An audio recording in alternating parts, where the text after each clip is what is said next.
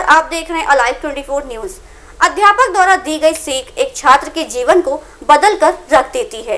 इसी सीख से छात्र अपने जीवन की नींव रखता है और जीवन की कसौटी पर खरा उतरता है।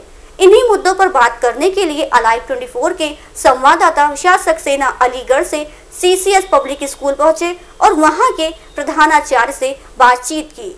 देखिए इस बातचीत के कुछ अंश।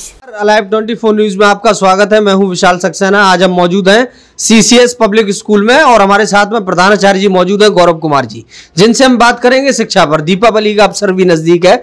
और शिक्षा प्रणाली कहाँ तक सुधरी है और क्या क्या सुधार हो सकते हैं इन पर भी हम चर्चा करेंगे। सर आपका बहुत बहुत स्वागत है आज के कार्यक्रम में। सर क्या लगता है आज की शिक्षा प्रणाली और पहले की शिक्षा प्रणाली में क्या फ़र्क है? कुछ अंतर नज़र आता जी नमस्कार जी। शिक्षा प्रणाली में बहुत काफ़ी चेंजिंग आ गई है। दूसरा सबसे पहले ये देखा जा रहा है कि गार्जियन का आज के प्रति बच्चों के बच्चों पे बिल्कुल भी कोई भी ध्यान नहीं है कैसा भी। बस उनका ये है कि विद्यालयों में बच्चों को भेज दिया उन्होंने होमवर्क किया है या नहीं किया है ऐसा कोई भी उनका कैसा भी बच्चों के प्रति कोई ध्यान नहीं है। तो मैं यही कहना चाहूँगा कि वो सभी गार्जियन बच्चों की तरफ़ प्रेरित हों एक विद्यालय में बच्चों को भेजने से ही काम नहीं चलता है बच्चों को घर पे भी वो मेंटेन करें। हाँ यदि वो घर पे ही बच्चों को मेंटेन करेंगे तो उससे जो है शिक्षा प्रणाली में काफ़ी सुधार आएगा।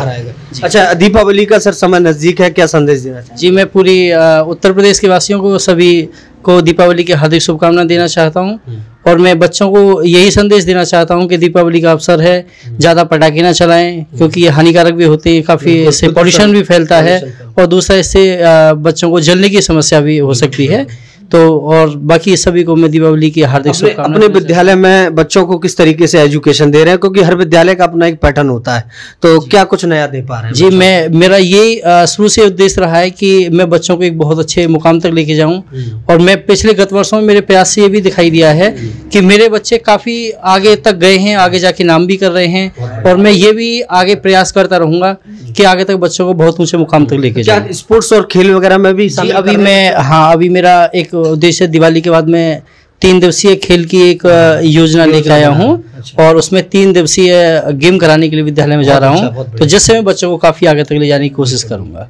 और क्या संदेश देना चाहेंगे आप और मैं बस यही जनता को संदेश देना चाहूँगा जो भी अपने बच्चों को पढ़ाएँ वो एकदम अच्छा, ये मानसिकता तो खत्म हो गई लड़कियों को पढ़ाने वाली या अभी ज़िंदा है जी नहीं नहीं बिल्कुल अ, हमारे यहाँ इस क्षेत्र में ये देखा जा रहा है कि लड़कियों पे ज़्यादा विशेष ध्यान दिया जा रहा है हाँ। पहले ये था कि बेटियों को मत पढ़ाइए पर लेकिन अब बेटी बचाओ बेटी पढ़ाओ की जो योजना प्रधानमंत्री जी की चल रही है है। वो भी योजना बहुत ज़्यादा अच्छी चल रही है हो रही है। और काफ़ी कारगर साबित हो रही है और आज में हमारे यहाँ पे भी लड़कियों की स्ट्रेंथ काफ़ी अच्छी है।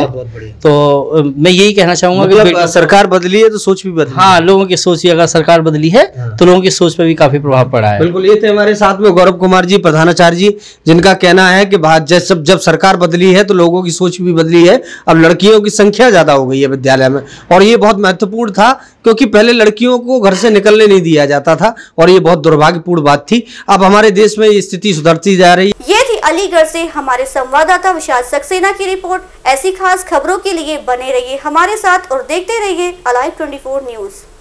देश और दुनिया की सबसे पहले खबर पाने के लिए हमारे अलाइव 24 न्यूज़ चैनल को सब्सक्राइब करें और बेल आइकन दबाएँ।